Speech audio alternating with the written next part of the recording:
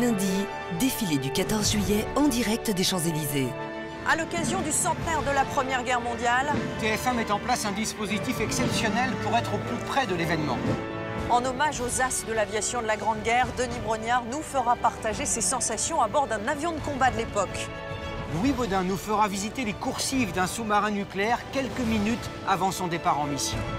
Et puis nous vous ferons revivre le quotidien des poilus grâce à un bivouac reconstitué dans le jardin des Tuileries. Le défilé du 14 juillet, présenté par Gilles Boulot et Anne-Claire Coudray, lundi, à partir de 8h45, en direct sur TF1.